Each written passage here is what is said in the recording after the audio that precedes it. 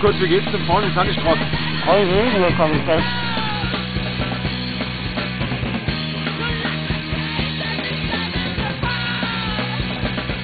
report now from the first stage of the Red Bull Romania Rally. It was really a, a day with a lot of stories, a really tough day.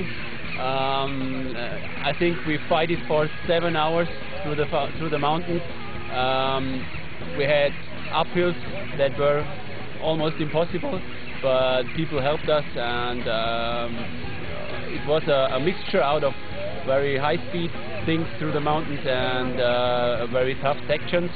And I was lucky till the end, but three kilometers uh, before the before the finish line, and I was lying on the second place. I catched a, a mud hole, and all the mud and all the water was in my engine, and so I had to stop the race over there. And uh, I wish all the riders that, that tomorrow's day is a little bit easier.